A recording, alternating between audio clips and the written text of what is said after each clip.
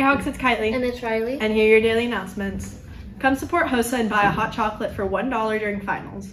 They will be selling hot cocoa in the atrium starting at 8 o'clock tomorrow, Friday, Monday, and Tuesday.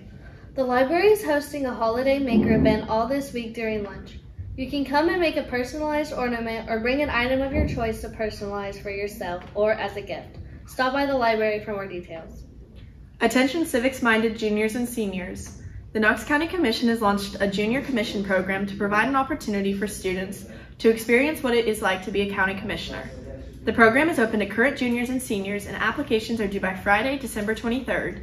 Scan the QR code on the screen for more info or to access the application.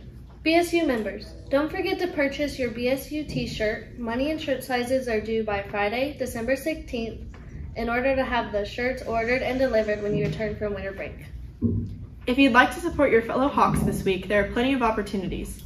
The bowling, wrestling, and basketball teams are all competing multiple times this week. Or you can come to school Thursday night for the orchestra concert. And finally, if you plan to go home early next Monday and Tuesday, you need to turn in your permission slips to your third and fourth block teachers. Don't forget.